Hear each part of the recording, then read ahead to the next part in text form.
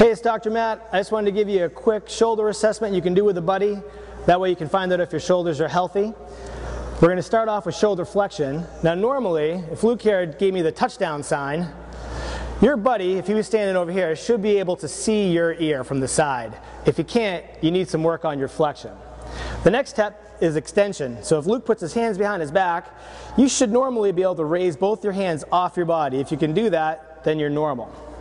And the last one we're going to check is internal rotation. So if you laid down on the ground, your arm out at a 90 degree angle and your buddy held your shoulder down so it wouldn't lift off the ground, you should normally be able to get your arm to hit the ground without raising that shoulder. If not, you've got a problem with internal rotation.